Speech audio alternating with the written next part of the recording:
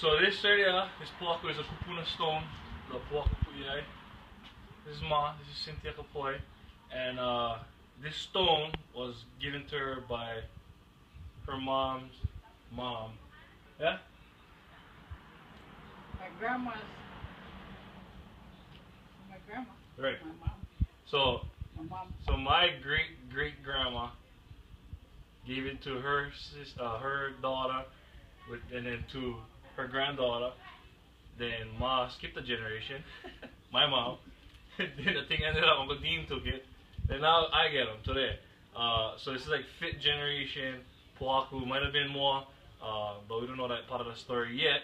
But it's the first time this this uh, Pōhaku probably touched Kalo in like hundred something years. So it's pretty uh, pretty heavy because of the whole this whole process of making this this uh, papa ku'i'ai the board was uh, was kind of nuts.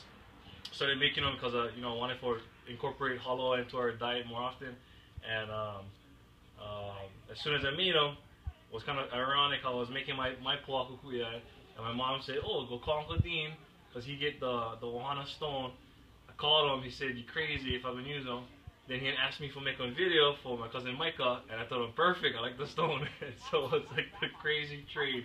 Uh, one went on auto. The thing reunited, you know, Poaku to uh, the Papa. So now we're gonna kui a bunch of uh, Papa uh, uh, for grain. So I am aloha, mahalo.